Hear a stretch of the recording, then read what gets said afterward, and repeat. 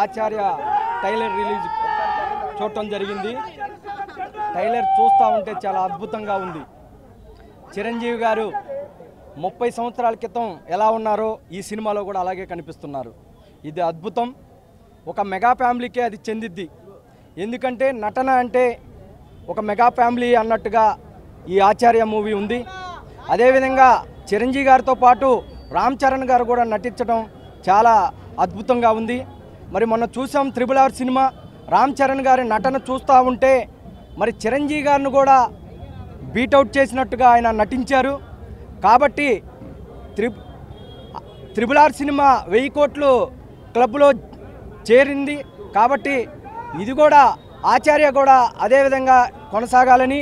ఎందుకంటే ప్రజలకి ఉపయోగపడే మెగా ఫ్యామిలీ.